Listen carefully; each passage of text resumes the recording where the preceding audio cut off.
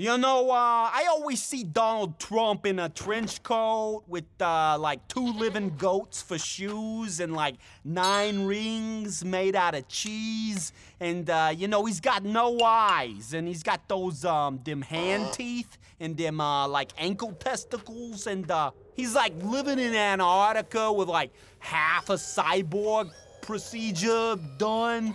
But uh, he's there with like the cast of Goonies, and they're like working as his butlers. And the first tree ever planted has been uprooted and transplanted into his bedroom to keep him company when he, uh, you know, like wakes up in his nightmares, when he's like missing his mommy, and uh, when he's wondering where all his stuffed animals are now.